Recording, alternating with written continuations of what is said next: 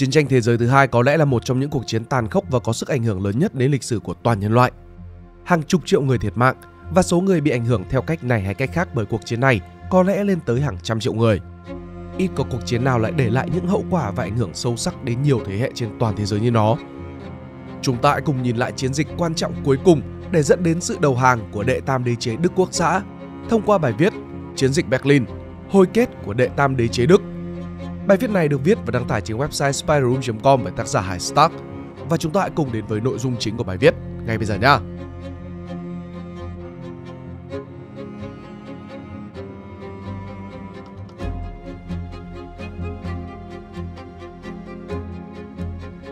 Vào thời điểm đầu năm 1945, chính quyền đệ tam đế chế của nước Đức thật sự gặp phải nhiều khó khăn. Nền kinh tế và công nghiệp Đức đang trên đà sụp đổ không thể cứu vãn.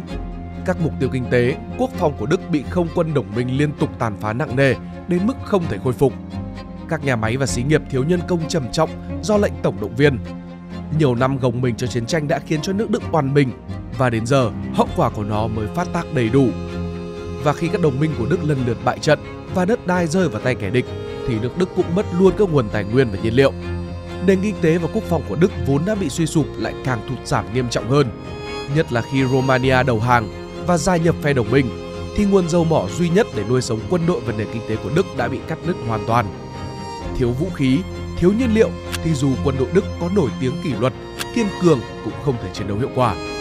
Bản thân nội bộ chính quyền đệ tam đế chế bấy giờ cũng trong trạng thái chia rẽ và nghi kỵ lẫn nhau – sau vụ mưu sát quốc trưởng Hitler bất thành vào ngày 20 tháng 7 năm 1944, hàng ngũ tướng lĩnh và sĩ quan của Đức Quốc xã có xáo trộn rất lớn.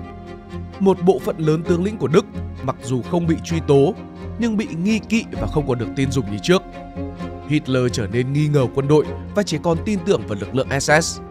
Ông ta bổ nhiệm thủ lĩnh SS là Heinrich Himmler làm tư lệnh của tập đoàn quân Vistula và qua đó mâu thuẫn giữa quân đội và WS ngày càng sâu sắc quân đội của Đức Quốc xã trong giai đoạn ấy cũng đã suy yếu rất nhiều về chất lượng. Lý do là bởi phần đông lực lượng bấy giờ đều mới được tổng động viên, chủ yếu là người già và thiếu niên từ các tổ chức bán quân sự. Những lực lượng này huấn luyện rất là kém, tinh thần chiến đấu đã xuống thấp, tâm lý thì chán trường. Và thực ra trong quân đội ai cũng hiểu rằng đế chế đã thua trận. Chính vì lẽ đó, sức chiến đấu của quân đội Đức Quốc xã suy giảm rất nhiều do cả những nguyên nhân chủ quan và khách quan. Tại mặt trận phía Tây, việc để mất các đồng minh và lãnh thổ từ Ý, Pháp, Bỉ cộng với thất bại trong các nỗ lực phản công như chiến dịch Ardennes đã khiến cho quân Đức bị các gọng kìm của quân đồng minh siết chặt. Tình hình chiến sự ở mặt phía đông ngày càng căng thẳng và không có dấu hiệu hạ nhiệt khi các tướng lĩnh Đức quyết tử thủ để ngăn cản bước tiến của Hồng quân Xô Viết.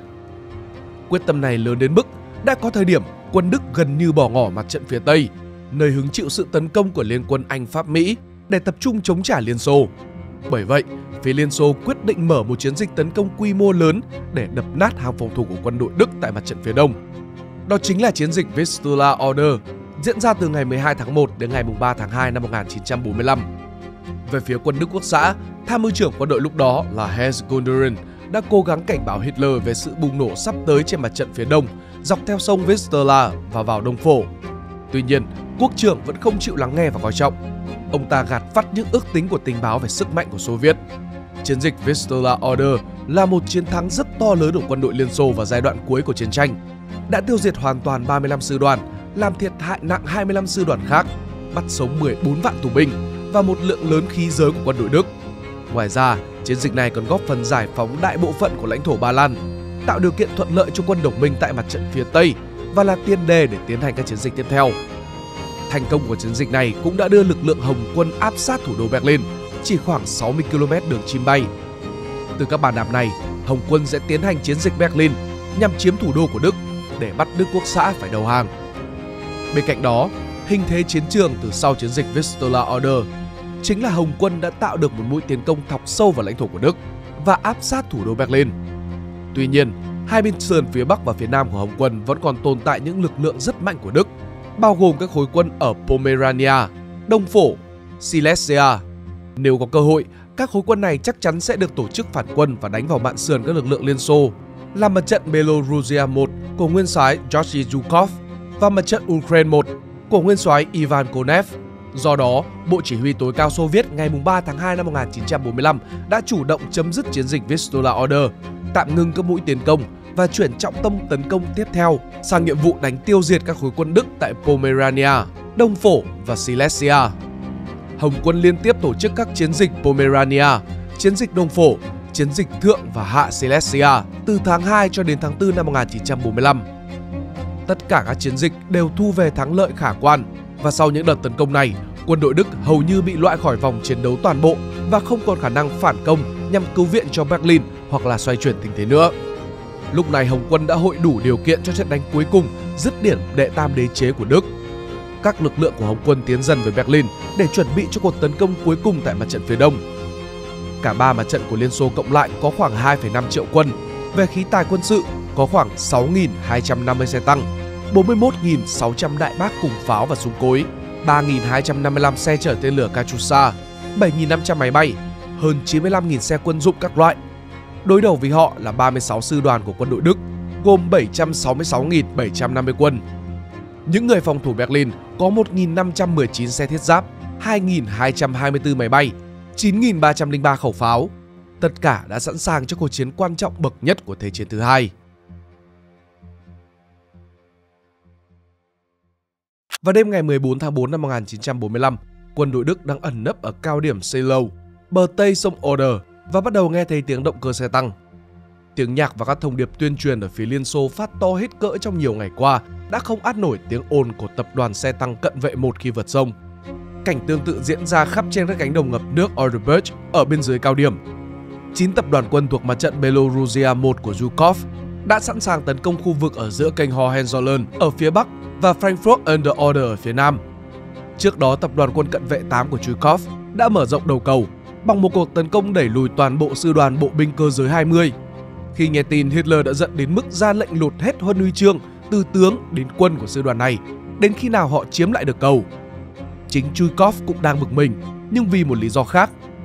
Ông biết được vào đêm 15 tháng 4 rằng nguyên soái Zhukov sẽ lấy vị trí chỉ huy của ông ở mỏm Breguen vì nó có tầm nhìn tốt nhất cả cánh đồng sông Oder ngập nước và cao điểm Silo. Quan hệ của cả hai vốn không tốt, nay lại càng xấu hơn. Hơn 8 km về phía nam cánh trái của Zhukov, mặt trận Ukraine 1 của nguyên soái Konev gian hàng với 7 tập đoàn quân ở Nessie. Ban chính trị của mặt trận này đã đưa ra một thông điệp báo thù đáng sợ và mạnh mẽ. Sẽ không có nương tay, chúng đã gieo gió và giờ thì phải gặt bão. Các sĩ quan quân Đức thì lo ngại hơn về sự bất bình trong hàng quân của mình. Họ phát hoảng khi thấy những người lính trẻ hét trả loa phóng thanh của Hồng quân kêu gọi đầu hàng, hỏi họ có bị đi đầy Siberia hay không nếu như mà buông súng. Các sĩ quan trong tập đoàn Tăng 4 đối diện với cả quân Konev ở sông Nessie đã tịch thu hết khăn tay trắng để ngăn họ dùng nó làm cờ đầu hàng. Nhiều chỉ huy thậm chí phải dùng đến những lời nói dối trắng trợn để mong giữ vững sĩ khí cho binh lính. Họ bảo rằng đang có hàng nghìn xe tăng đến điểm trợ, rằng có những loại vũ khí kỳ diệu có thể đánh tan được kẻ thù. Có người còn bảo rằng quân đồng minh đang sát cánh cùng nước Đức để đánh bại Liên Xô. Các sĩ quan cấp dưới được quán triệt rằng đừng có áy náy về việc bắn bỏ những binh lính do dự hay đào ngũ.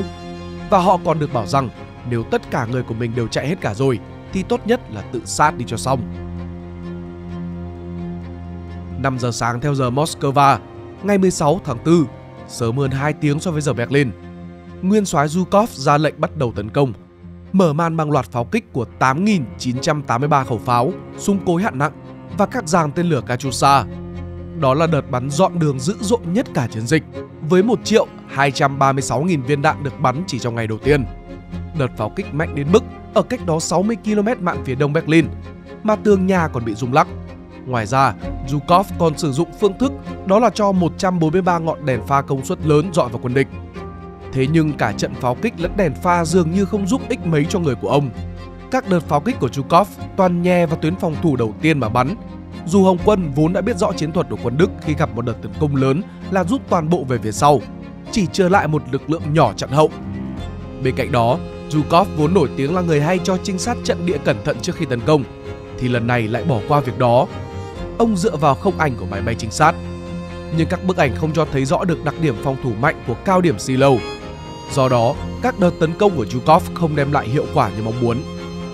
Trong khi đó, tập đoàn quân cận vệ 8 của Chuikov ở bên phía cánh trái và tập đoàn quân xung kích 5 của Thượng tướng Nikolai Berzarin ở bên phía cánh phải tấn công xuôn xe tập đoàn tăng cận vệ 1 sau đó dự tính sẽ vượt qua lúc chiếm được cao điểm. Tuy nhiên, Do các đợt tấn công của Zhukov không hiệu quả, nên đà tiến công của Hồng quân bị khựng lại, nhưng vẫn đủ để khiến lực lượng của quân Đức ở các tuyến đầu bị thiệt hại và phải rút lui. Quân Đức sống sót từ tuyến trước đều chạy lên sườn cao điểm Silo và hét lớn rằng bọn Ivan đang đến. Ngay sau họ là những gia đình nông dân.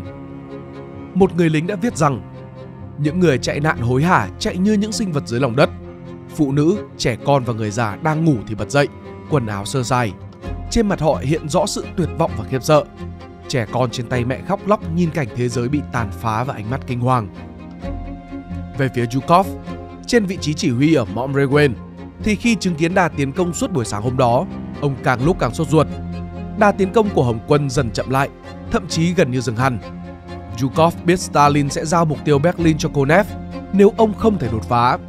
Ông bắt đầu khiển trách Zhukov, rồi sau đó thay đổi toàn bộ đội hình tấn công.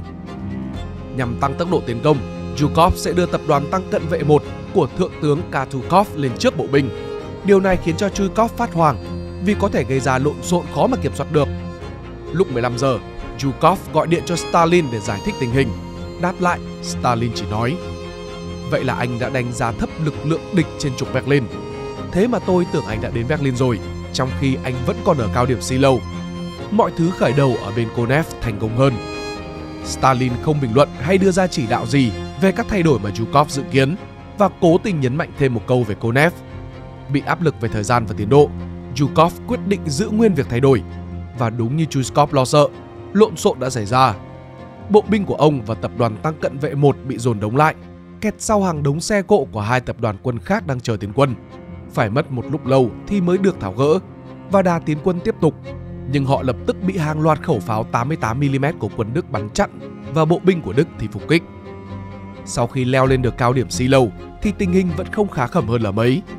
Bùn đất trên sườn dốc đứng bị đạn pháo cẩy nát khiến cho những chiếc xe tăng của Hồng quân khó di chuyển. Bên cánh trái, lữ đoàn dẫn đầu của Katukov bị xe tăng Tiger của tiểu đoàn tăng hạng nặng 502 SS phục kích. Chỉ ở trung tâm thì họ mới thành công khi đánh tan được sư đoàn 9. Tuy nhiên, đến tận tối, các tập đoàn quân của Zhukov vẫn chưa chiếm được cao điểm Silo. Mặt trận Ukraine 1 của Konev thì có khá hơn. Dù không có đầu cầu qua sông Nessie, pháo binh của Konev và máy bay yểm trợ đã ghim quân đội Đức dưới chiến hào khi các tiểu đoàn dẫn đầu của ông vượt sông trên những chiếc xuồng. Tập đoàn không quân 2 còn thả một màn khói để làm nghi binh, khiến cho tập đoàn tăng 4 của Đức không thể xác định và tập trung hỏa lực để tấn công. Các đầu cầu đã được thiết lập và chẳng mấy chốc xe tăng đã được chở sang sông. Trong khi công binh bắt đầu bắc cầu phao, những thay đổi của Zhukov không ảnh hưởng gì đến Konev và ông đã lên kế hoạch cho các tập đoàn cận vệ 3 và 4 dẫn đầu của tấn công. Vào đầu giờ chiều, những cây cầu đầu tiên đã bắc xong và xe tăng bắt đầu tiến công. Trong khi quân Đức vẫn còn đang choáng váng vì trận pháo kích và rối loạn vì màn khói. Konev đã cho các lữ đoàn tăng đi đầu và xông thẳng vào phòng tuyến của Đức với lệnh không được dừng lại. Đi ngay sau họ sẽ là bộ binh. Có thể nói, đêm 16 tháng 4 là một đêm mất mặt với cả Zhukov. Ông đã phải gọi lại cho Stalin để thừa nhận rằng vẫn chưa chiếm được cao điểm Silo. Stalin nói rằng đó là lỗi của Zhukov khi đã thay đổi kế hoạch. Hỏi rằng có chắc chắn lấy được cao điểm trong ngày mai hay không. Zhukov tin rằng tiêu diệt quân Đức ở nơi chống trải thì dễ hơn nhiều ở trong Berlin, nên sẽ không tốn quá nhiều thời gian. Nên liền cam đoan là có. Stalin sau đó liền bảo rằng sẽ lệnh cho Konev điều hai đoàn tăng của mình lên phía Bắc để đánh vào phía Nam Berlin. Một lát sau, Stalin gọi điện cho Konev rồi lệnh cho ông điều hai tập đoàn tăng cận vệ 3 và 4 lên hướng Zehlendorf. Đó là một nơi quan trọng vì là vùng đất ngoại vi xa nhất của Tây Nam Berlin và gần đầu cầu qua sông Elbe hơn cả. Được sự ủng hộ của Stalin, Konev lập tức ra lệnh cho các tập đoàn tăng của mình tiếp tục tấn công. Trong khi đó, Zhukov cuống, còn trận đánh ở cao điểm Silo vẫn diễn ra đầy hỗn loạn. Dù sư đoàn 9 Falkrimsjäger đã bị tiêu diệt và tạo điều kiện cho các đơn vị tăng của Kutakov tiến công, thì họ vẫn bị phản công bởi sư đoàn Kumat với các xe tăng Panther cùng rất nhiều binh lính và người của đoàn thanh niên Hitler. Thương vong của cả hai đều rất cao và khiến cho các trạm cấp cứu và bệnh viện dã chiến quá tải. Mọi việc còn tệ hơn khi tập đoàn xung kích 5 của Hồng quân bắt đầu bắn nhầm vào các lữ đoàn xe tăng của Kuchakov. Các lữ đoàn tăng của Konev thì đã tiến được đến sông Spree phía nam Cottbus để vượt qua sông trước khi quân Đức kịp tổ chức phòng thủ. Khi tướng Ryabalkor của tập đoàn tăng cận vệ số 3 đi cùng lữ đoàn dẫn đầu và không muốn lãng phí thời gian đưa cầu pháo lên, Ông lệnh cho xe tăng đi đầu cứ thế lao thẳng xuống sông Spree ở một khúc cạn. chiếc đi đầu qua thành công và các xe sau cũng như vậy. Quân Đức ở khu vực này không có pháo chống tăng nên không thể làm gì khác. Đường đến bản doanh Bộ Tổng Tư lệnh Lục quân của Đức ở Chosen đã mở ra trước mắt. Các sĩ quan ở đây thậm chí còn chưa biết gì về cuộc đột phá ở phía Nam do còn mãi chú ý đến cao điểm Silo. Ở đó, Thượng tướng Gotthard Henrici vừa mới tung lực lượng dự bị duy nhất của ông vào tham chiến, quân đoàn tăng 3 SS Germanische.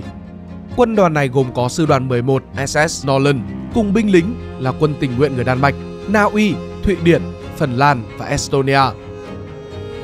Rốt cuộc, Zhukov vẫn không thể chiếm được cao điểm Silo và trận đánh kéo dài qua đến ngày 18 tháng 4 với mức độ át liệt ngày càng lớn. Stalin đã lên tiếng cảnh báo rằng các tập đoàn tăng của Konev đã xông thẳng về phía Berlin. Nếu mặt trận Belorussia 1 của Zhukov không có tiến triển, thì ông sẽ lệnh cho Roskovsky ở phía Bắc đưa mặt trận Belorussia 2 hướng về Berlin luôn. Đó chỉ là một lời dọa xuông vì lực lượng của Roskovsky đã bị chậm lại nên không thể vượt qua sông Oder trước ngày 20. Tuy nhiên, Zhukov không biết và không có thời gian để tìm hiểu điều đó. Trong cơn tuyệt vọng, ông đã liên tục hạ lệnh tấn công dồn dập và đến cuối buổi sáng hôm đó, đội quân của Zhukov đã có sự đột phá. Tập đoàn quân 9 của Thượng tướng Theo Buses bị chia cắt và nhanh chóng tan rã. Tuy nhiên, cái giá phải trả là quá lớn.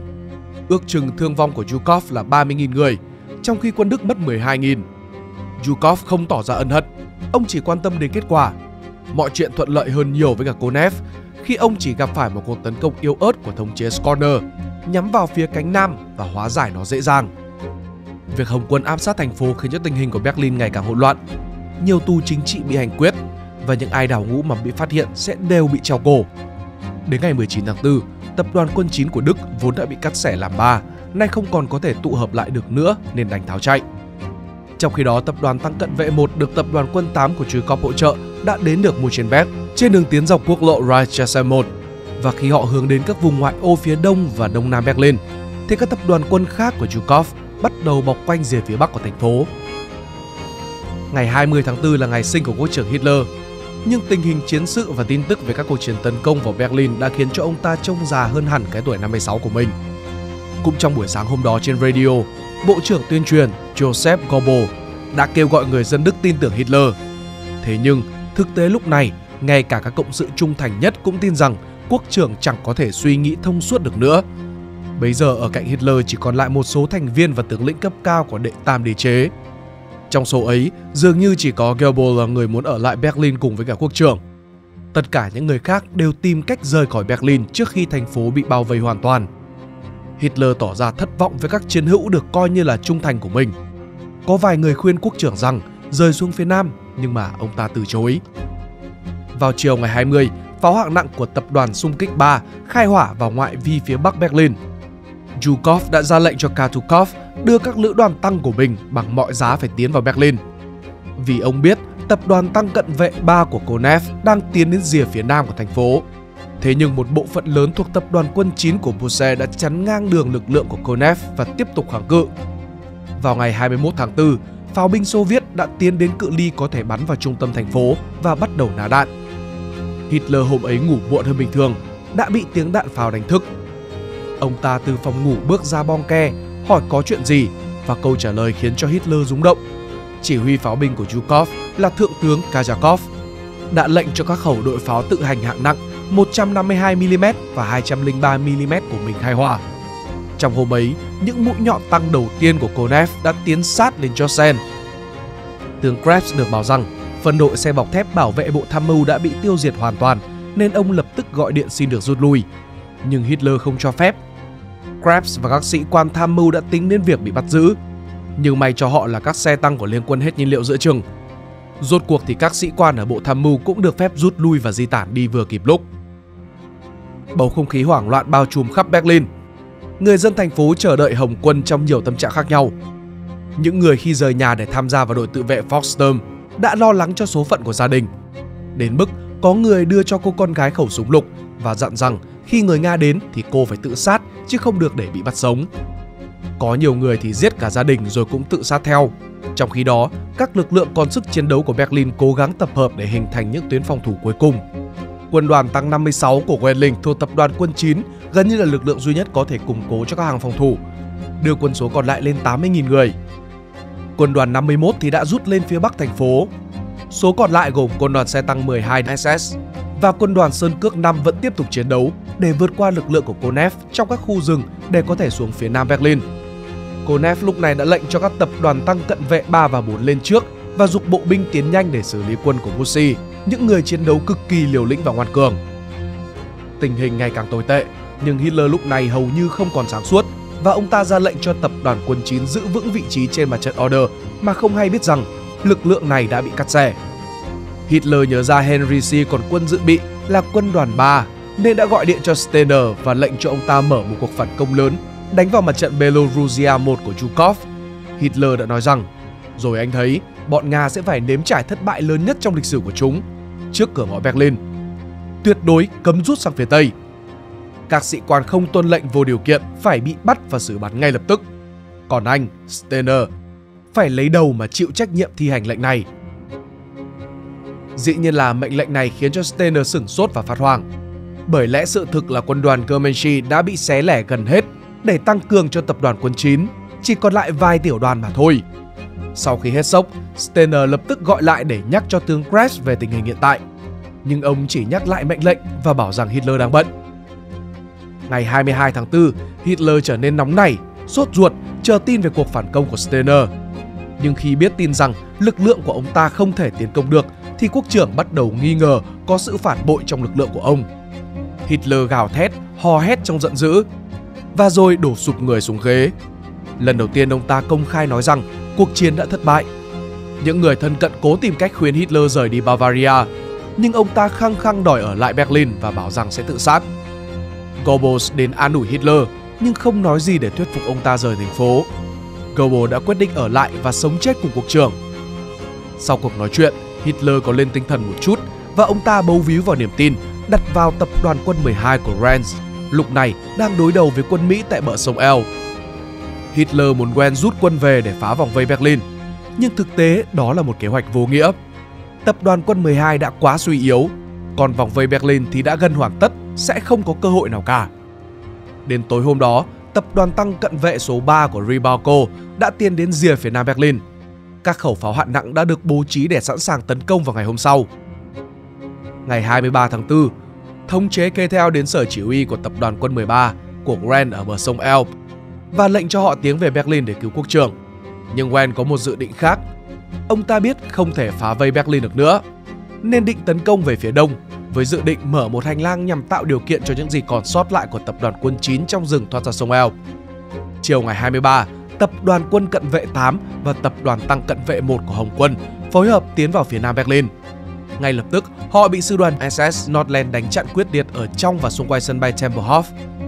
Tuy nhiên, việc ấy không xoay chuyển được gì nhiều khi các mũi tấn công của Hồng quân bắt đầu tràn vào.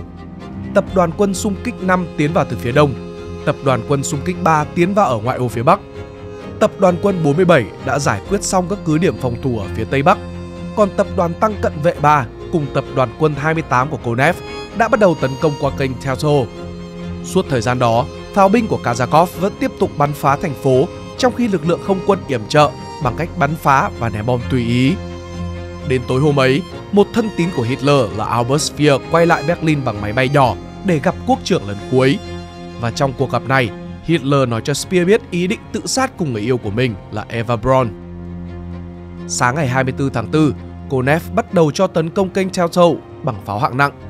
Về phía Zhukov, ông đã bực mình khi nghe tin từ tập đoàn tăng cận vệ một rằng các lữ đoàn tăng của Real Barco đã đến được Berlin.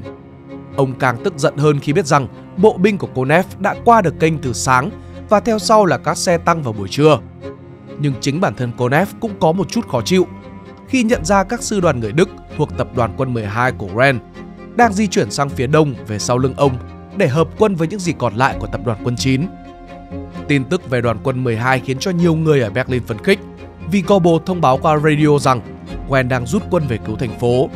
Tinh thần của Hitler cũng được cải thiện và ông hạ lệnh cho tập đoàn quân 9 của Pussy phải phối hợp với cả quân của Ren để tiến quân vào Berlin. Nhưng dĩ nhiên nó chỉ là hy vọng hão huyền của Hitler, bởi cả Ren và Pussy đều không có ý định phá vòng vây Berlin. Bên trong thành phố, tình trạng càng lúc càng tệ. Người dân Berlin hầu hết chỉ mong trận đánh chấm dứt khi họ bị nhồi nhét trong các tầng hầm, hầm tránh bom, các tháp phòng không. Quá nhiều người khiến cho không khí ngột ngạt và chật trội đến mức người ta thậm chí còn không vào được nhà vệ sinh và không có nước mà uống.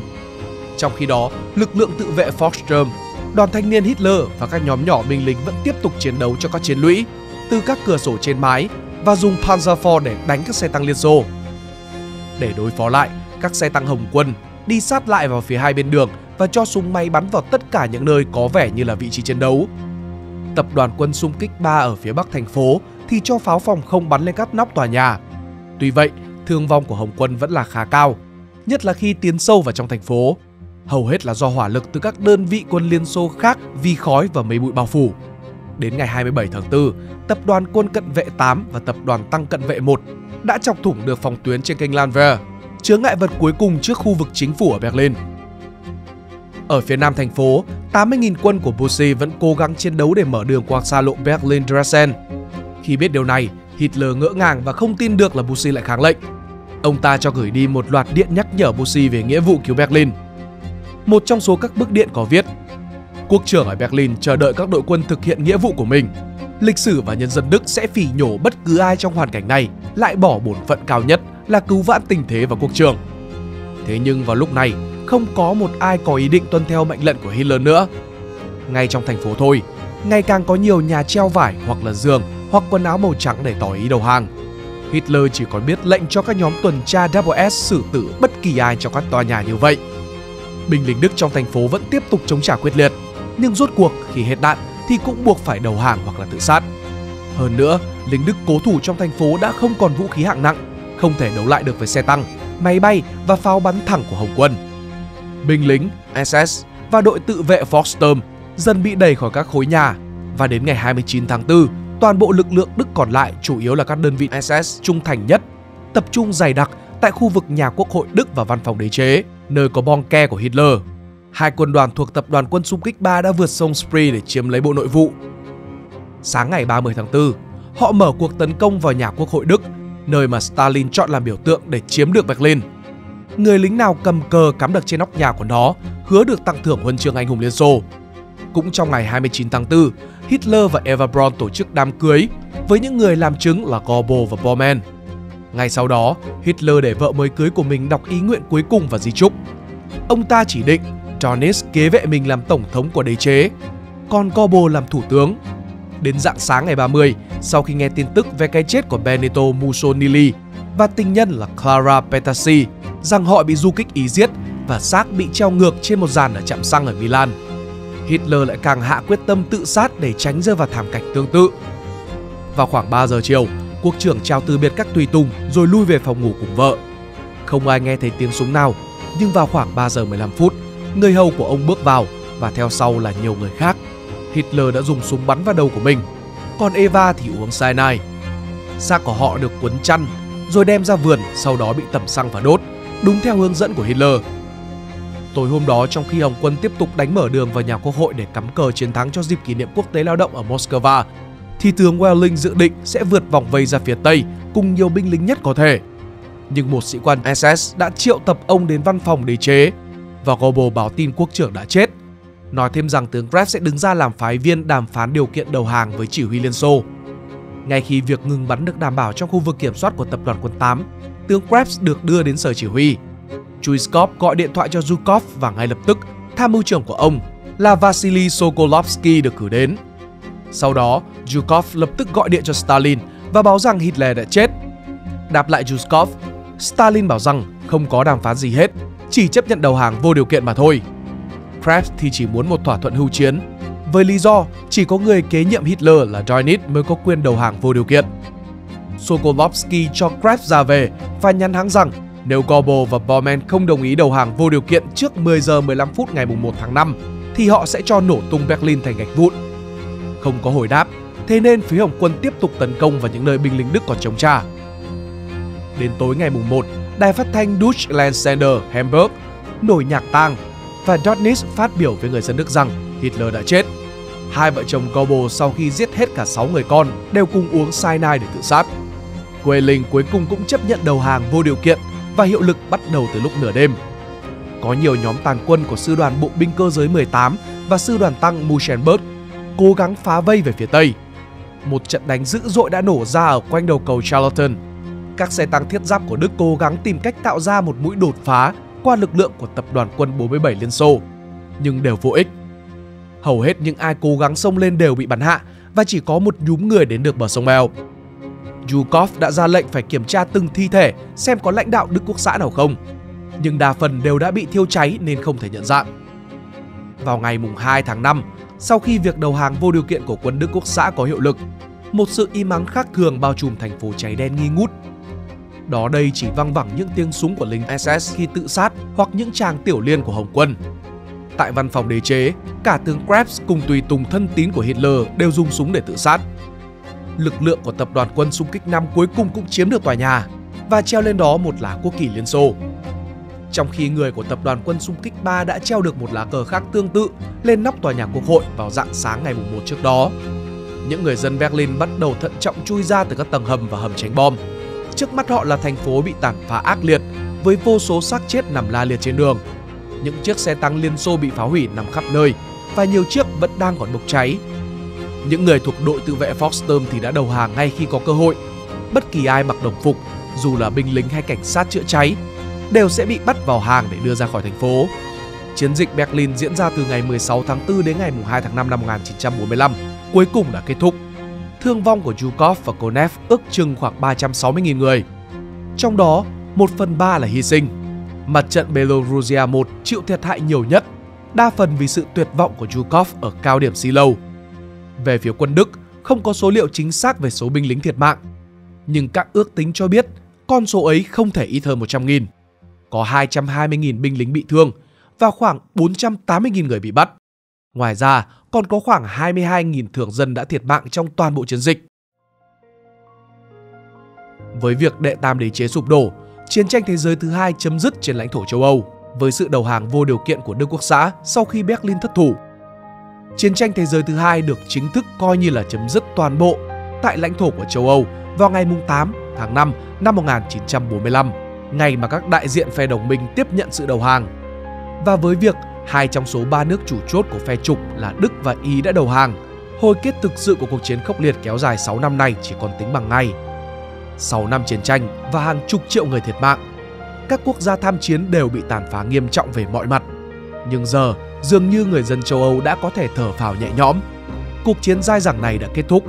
Quả vậy, nhưng hậu quả và ảnh hưởng của nó thì vẫn còn đó và không dễ gì xóa bỏ được nhưng đó lại là những câu chuyện khác, những giai đoạn khác. Còn hiện tại, chiến tranh đã chấm dứt và như thế là đủ tốt để ăn mừng được rồi.